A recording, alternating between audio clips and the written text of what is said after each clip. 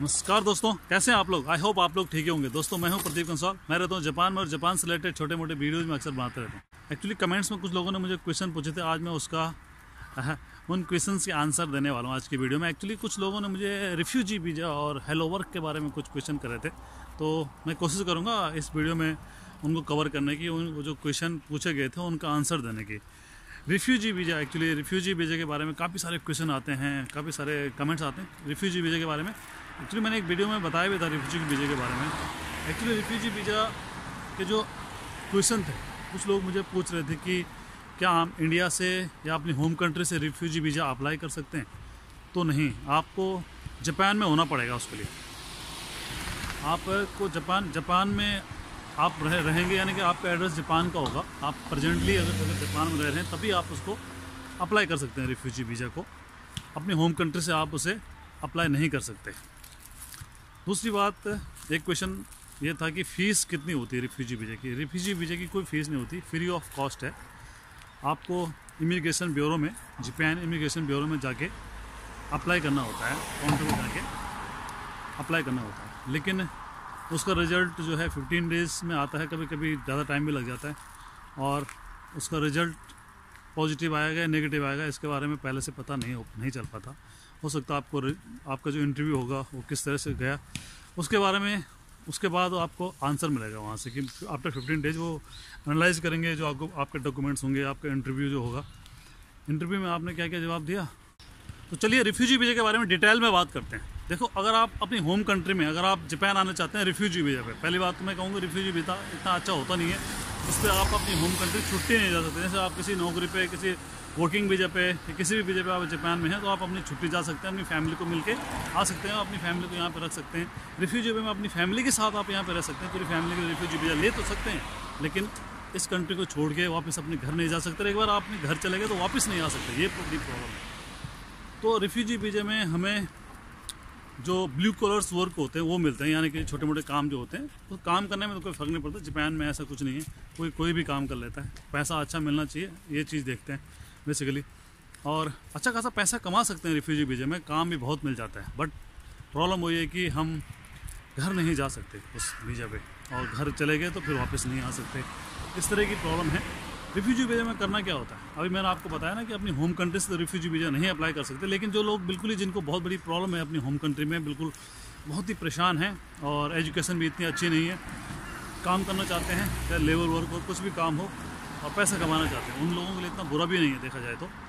यानी कि जितने इसमें नेगेटिव पॉइंट्स जितनी नेगेटिव चीज़ें इसके पीछे है, उतनी पॉजिटिव चीज़ें भी कुछ इसके पीछे है। तो मैं आपको ये बताऊँगा कि सबसे पहले अगर आप जापान आते हैं, आपकी फैमिली या रिलेटिव्स कोई जापान में रह रहे हैं, आपने टूरिस्ट वीज़ा में यहाँ पे आ गए या विजिटिंग वीज़ा में आप जापान पहुँच गए। उसके बाद आप, आपने रिफ्यूजी वीज़ा अप्लाई करना है। तो रिफ्यूजी वीज़ा अप्लाई करने के लिए पहले आपको एक फॉर्म डाउनलोड करना पड़ेगा, प्रिंट आउट करना पड़ेगा, या फिर आप इमिग्रेशन ब्यूरो में जाके वहीं पे फॉर्म भी भर सकते हैं। लेकिन घर से ले जाएँगे तो ज़्यादा इजी रहता है, यानी कि फॉर्म गलत ना भरा जाए इसलिए। तो फॉर्म कहाँ से आपको मिलेगा? इसी वीडियो से मिलेगा, जो मैं आपको वीडियो बना रहा हूँ। मैं इसके नीचे एक लिंक दे दूँगा। आप वहाँ से काफ़ी सारी जानकारी रिफ्यूजी वीज़ा के बारे में ले सकते हैं और फॉर्म भी वहाँ से डाउनलोड करके आप भर सकते हैं। फॉर्म भरने के बाद आपने जाना है इमिग्रेशन ब्यूरो, वहाँ पे आपने जमा करना है फॉर्म। और जमा करने के फिफ्टीन डेज़ बाद आपका जो रिज़ल्ट आएगा, उससे पहले आपको इंटरव्यू होगा आपका। इंटरव्यू लिया जाएगा इंटरव्यू में आपसे क्वेश्चन आंसर पूछेंगे। क्वेश्चन आंसर आपने किस तरह से दिए, ये बहुत बड़ा मैटर करता है। उसके बाद पता चलेगा रिफ्यूजी वीज़ा आपको मिलेगा या नहीं। और जो रिफ्यूजी वीज़ा जो स्टार्टिंग में मिलता है, वो होता है फिफ्टीन डेज़ का। सॉरी फिफ्टीन डेज़ का भी हो सकता है या वन मंथ का हो सकता है। और शुरू शुरू में ऐसे ही मिलता है, एक महीने का फिर आपने नेक्स्ट टाइम ख़त्म होने से पहले आपको अप्लाई करना पड़ता है और उस, फिर आपको हो सकता है दो महीने का मिल जाए या ऐसे ही करके धीरे धीरे करके पाँच छः महीने का भेजा मिलता है लास्ट में। जब आपको टाइम थोड़ा ज़्यादा हो जाता है, उसके बाद आपको मिलता है वर्क परमिट यानी कि परमिशन मिलती है आपको काम करने की जापान में। वैसे उस वीज़े पे अगर आपको परमिशन नहीं है तो काम नहीं कर सकते। बट कुछ लोग फिर भी करते हैं चोरी छुपे जहाँ ऐसी कंपनियाँ होती जहाँ कार्ड पंच नहीं होता या हाथ पे पैसे मिलते हैं। वैसी जगह पे लोग चोरी छुपे काम करते हैं बट लीगल नहीं है। और उसके बाद जब आपको परमिशन मिल जाएगी काम करने की, उसके बाद आप कहीं पे भी काम कर सकते हो। रिफ्यूजी वीज़ा पे काम करने के लिए बहुत सारे ऑप्शन हैं। काफ़ी सारी जॉब मिलती हैं रिफ्यूजी वीज़ा वालों के लिए। मतलब वो डेली वेज वाली जॉब उसमें वीज़ा वीज़ा का तो कोई लफड़ा होता नहीं। वीज़ा खुद अपने अपने आप ही करना पड़ता है। तो रिफ्यूजी वीज़ा की कोई फ़ीस नहीं होती। अपनी होम कंट्री से रिफ्यूजी वीज़ा अप्लाई नहीं कर सकते। Refugee visa Japan immigration bureau Japan में आके ही अप्लाई हो सकता है। ये जो डाउट्स है, मैं क्लियर करने की कोशिश कर रहा हूँ इस वीडियो में। और रिफ्यूजी वीज़ा में आपको ब्लू कलर्स जॉब मिलता है, यानी कि लेबर कैटेगरीज के जॉब मिलते हैं। और जॉब काफ़ी मिल जाते हैं रिफ्यूजी वीज़ा में, ये भी है। बट वही लेबर कैटेगरी के मिलेंगे। और दूसरा रिफ्यूजी वीज़ा के लिए एड्रेस प्रूफ चाहिए होता है एक बेसिकली आप कहाँ पे हैं? जापान में रह रहे हैं. अगर आप कहीं पे भी हैं तो उसका एक एड्रेस प्रूफ देना होता है. एक फ़ोटो देनी होती है. रिसेंटली थ्री मंथ्स के अंदर खींची हुई फ़ोटो वो आप, जब आप उस पर जाओगे साइड पे तो आपको पूरा पूरी इन्फॉर्मेशन मिल जाएगी. वैसे भी बारीकी से. और बस मैं यही डाउट क्लियर कर रहा था कि अपनी होम कंट्री से अप्लाई नहीं होता रिफ्यूजी वीज़ा रिफ्यूजी वीज़ा के लिए जापान में होना चाहिए. जापान में रहना चाहिए वो आदमी जो रिफ्यूजी वीज़ा अप्लाई कर रहा है। यानी कि असाइलम वीज़ा भी कहते हैं उसको। असाइलम वीज़ा रिफ्यूजी वीज़ा भी एक ही होता है। किसी ने ये भी पूछा था कि भाई what is the difference of between asylum visa और refugee visa both are same तो सेम सेम होते हैं दोनों वीज़ा और क्या था रिफ्यूजी वीज़ा में? और क्या हाँ क्वेश्चन थे? मैं भूल भी गया एक्चुअली क्या पूछा था लोगों ने। याद करने की कोशिश करता हूँ। रिफ्यूजी वीज़ा के लिए हमें क्या क्या चीज़ों की ज़रूरत पड़ती है? रिफ्यूजी वीज़ा के लिए हमें एक तो फॉर्म की ज़रूरत पड़ती है, जो मैंने आपको बताया, आपको लिंक है, उसको ओपन करके वहाँ से भी ले सकते हैं और इमिग्रेशन ब्यूरो में जाके डायरेक्ट वहाँ से मांग भी सकते हैं। रिफ्यूजी वीज़ा के लिए हमें पासपोर्ट चाहिए, एक पासपोर्ट चाहिए और रेजिडेंस कार्ड अगर आपको बना हुआ है जापान का तो ठीक है, नहीं है तो भी उसका रीज़न चाहिए कि ऐसा ऐसा मेरे पास रेजिडेंस कार्ड नहीं तो टूरिस्ट वीज़े पर हूँ। जिस तरह से भी रीजन होता है, उसका एक रीजन का प्रूफ चाहिए। और बस यही चाहिए, फ़ोटो चाहिए फॉर्म मैंने आपको बता दिया फॉर्म भर के देना है। और कोई ज़्यादा चीज़ नहीं चाहिए, फ़ीस उसके लिए लगती नहीं है। और रिफ्यूजी वीज़ा शुरू शुरू में आपको मिलेगा शायद फिफ्टीन डेज़ का या वन मंथ का।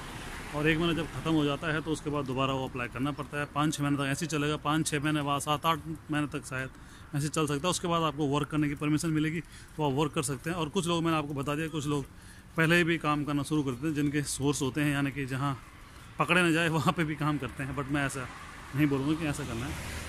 वैसे रिफ्यूजी वीज़ा मेरे हिसाब में किसी को रिकमेंड नहीं करूँगा। रिफ्यूजी वीज़ा में तो ये है कि वर्क परमिट पे आओ तो सबसे बेटर बेटर है। किसी को बहुत ज़्यादा प्रॉब्लम है तो ही रिफ्यूजी वीज़ा मैं उसको बोलूँगा, नहीं तो अदरवाइज़ वर्क परमिट में आओ और उसमें काम करो। स्टूडेंट वीज़ा में आओ, भाषा सीखो और पढ़ लिख के कुछ अच्छी नौकरी पकड़ो, वो सबसे बेटर है। रिफ्यूजी वीज़ा में भाई, उसी के लिए मैं रिकमेंड करूँगा, जिसको बहुत ज़्यादा प्रॉब्लम है अपनी होम कंट्री में। काफ़ी सारा, काफ़ी परेशान है और रिफ्यूजी वीज़ा में एक बार आप यहाँ पे आके पैसे आप कमा सकते हो, इसमें कोई दो रिया नहीं है। पैसे है, और नौकरी की कमी नहीं है रिफ्यूजी वीज़ा में बेसिकली जॉब काफ़ी सारी मिल जाती है, कहीं पर भी कर लो। और ये गाइजिन पॉट वगैरह, यहाँ पर भी दुनिया भर की वैकेंसीज आती हैं, जिसमें लिखा होता है कि रिफ्यूजी वीज़ा वाले कर सकते हैं। रिफ्यूजी वीज़ा यानी कि फैक्ट्री में कर सकते हैं और काफ़ी जगहों पे कर सकते हैं रिफ्यूजी वीज़ा वाला काम। कुछ लोगों ने मुझे बोला है कि आप वीडियो बहुत कम डाल रहे हो आजकल यूट्यूब पे। वाकई sorry I am so sorry actually मैं वाकई बहुत कम वीडियो बना पा रहा हूँ। आजकल थोड़ा सा बिज़ी शेड्यूल चल रहा है। बट कोशिश करूँगा आगे से कंटिन्यू जारी रहेगा। और काफ़ी सारी वीडियोस और भी डालने की कोशिश करूँगा। कोशिश करूँगा आप लोगों की हेल्प करने की, जो लोग मुझे देखते हैं, कि उनको किसी तरह से छोटे मोटे क्वेश्चन का मैं आंसर दे सकूँ।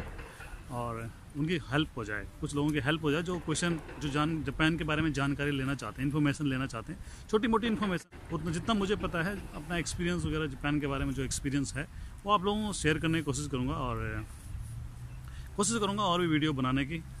एक्चुअली मैं प्रोफेशनल यूट्यूबर नहीं हूँ, मैं एक्चुअली टाइम पास यूट्यूबर हूँ और ऐसी छोटी सी हेल्प हो जाए, किसी को मेरी वजह से क्वेश्चन का आंसर मिल जाए। इसीलिए मैं ये वीडियो बनाता रहता हूँ। मेरा कोई ऐसा वो नहीं कि मैं पैसे कमाना चाहता हूँ यूट्यूब से या कुछ इस तरह का। ऐसा कुछ नहीं है। ऐसे ही थोड़ा सा मेरा भी टाइम पास हो जाता है और मैं लोगों को इन्फॉर्मेशन भी दे देता हूँ। किसी की छोटी मोटी हेल्प हो जाती है। इसीलिए मैं ये वीडियो बनाता हूँ। मैं इतना ज़्यादा डेडिकेट डेडिकेशन नहीं है यूट्यूब के, जैसे लोग करते हैं अपने सब्सक्राइब बढ़ाने के लिए, लाना, ये सब चीज़ें। उस सब मैं नहीं करता, मैं सिर्फ़ ऐसे अपने टाइम पास के लिए और मेरे टाइम पास की वजह से किसी दूसरे को हेल्प हो जाती है, इसलिए मैं ये वीडियोज़ बनाता हूँ। काफ़ी लोग हैं जापान के भी काफ़ी यूट्यूबर्स हैं, जो प्रोफेशनल तरीके से वीडियोज़ बनाते हैं और अपने सब्सक्राइब गेन करने के लिए काफ़ी सारी चीज़ें करते हैं, वो मैं नहीं करता। मुझे कोई फ़र्क नहीं पड़ता सब्सक्राइबर बढ़ें या घटें, या कोई मेरे वीडियो देखे या ना देखे। एक्चुअली जिसको रिक्वायरमेंट होगी, जो देखना चाहेगा, वो देखेगा, जिसको नहीं होगा, वो नहीं देखेगा। और जिसको छोटी मोटी इन्फॉर्मेशन अच्छी लगती है, वो देखेगा। और मुझे पैसे नहीं कमाने यूट्यूब से मैं पैसे कमाने के लिए ये सब चीज़ें नहीं करता और ना ही मैं सब्सक्राइब बढ़ाने के लिए कोई एडवर्टाइजमेंट है ऐसे। आई थिंक रिफ्यूजी वीज़ा के बारे में हमारी बातचीत आज हो गई है। आ, अगर किसी के डाउट हो रहे हैं तो कमेंट करके पूछ सकते हैं। नीचे कमेंट सेक्शन में कमेंट करके पूछिए। मैं कोशिश करूँगा जवाब देने की। रिफ्यूजी वीज़ा एक सिंपल वीज़ा है बेसिकली उसके लिए कुछ किसी चीज़ की रिक्वायरमेंट बहुत ज़्यादा नहीं होती। सिर्फ़ हमें उनको विश्वास दिलाना होता है कि वाकई हमारी कंट्री में मुझे ये प्रॉब्लम है।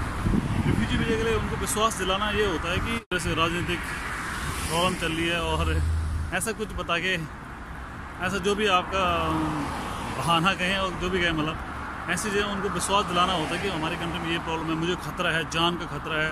इसलिए मतलब मैं वहाँ से यहाँ पे शरण लेना चाहता हूँ, शरणार्थी बनना चाहता हूँ, यानी कि असाइलूम लेना चाहता हूँ यहाँ पे। मुझे प्रॉब्लम है अपनी कंट्री में, खतरा है मेरे को अपनी कंट्री में। ये सब उनको विश्वास दिलाना पड़ता है। इंटरव्यू में इसी तरह आप बोलेंगे तो आपको वो मिलने के चांसेस बढ़ जाते हैं। और यदि आपने कुछ ऐसा उनको बोल दिया कि मैं यहाँ पे काम करना चाहता हूँ, कुछ ऐसी नई चीज़ बता दी जो मतलब एलिजिबल है ही नहीं उसके लिए तो वो आपको नहीं मिलेगा, आपका रिफ्यूजल रिफ्यूज हो जाएगा आपका केस इसलिए आप इंटरव्यू में जब भी जाएँ रिफ्यूजी वीज़ा के लिए असाइलम वीज़ा के लिए तो आप अपने आप को प्रिपेयर करके जाएँ प्रॉपर तरीके से। सटीक करके घर में शीशे के सामने आपने किस तरह से बोलना है, वो सब चीज़ें क्वेश्चन आंसर जो भी आपको पूछेंगे, आपके बारे में पूछेंगे, ऐसा नहीं कि वो कुछ एजुकेशन को लेके पूछेंगे कि ऐसा कुछ नहीं पूछेंगे कि पानीपत की लड़ाई कब हुई थी, ऐसा तो कुछ नहीं पूछेंगे। वो सिर्फ़ आपसे रिलेटेड पूछेंगे कि आप क्यों, आप, ये असाइलम वीज़ा क्यों लेना चाहते हैं, क्या प्रॉब्लम है आपको? तो आपको वहाँ पे आपका आंसर ऐसा होना चाहिए, सटीक, यानी कि जो फिट बैठे जो करंट अफेयर जो चल रहा है देश में इस तरह से, वो सब चीज़ें आपको बतानी पड़ेगी। मैं इस रिलीजियस का हूँ, दूसरे रिलीजियस मेरे पड़ोस में ऐसा है। कुछ भी आप एक ऐसी हिस्ट्री बतानी पड़ेगी आपको कि कुछ भी मतलब ऐसा इस तरह से कि उनको विश्वास आ जाए कि वाकई इसको प्रॉब्लम है, यानी कि इसको जान का खतरा है अपनी कंट्री में। इसलिए यहाँ पर शरणार्थी बनना चाहिए और आपको फिर वो असलम भेजा उनको देना ही पड़ेगा।